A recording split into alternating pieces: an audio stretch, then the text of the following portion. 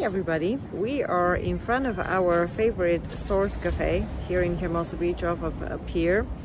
What we love about this uh, coffee shop is uh, it has an amazing Arabica type of coffee and their um, coffee machine, espresso machine is amazing and also um, it has a, a great um, healthy choices foods like if you are on a certain diet like a keto diet that's your place. If you're on a paleo diet that's your place. If you're a vegan my goodness so many choices.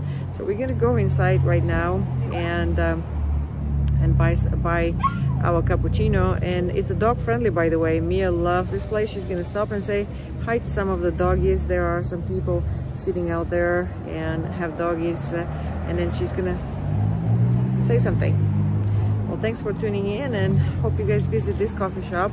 It's the source cafe on the pier in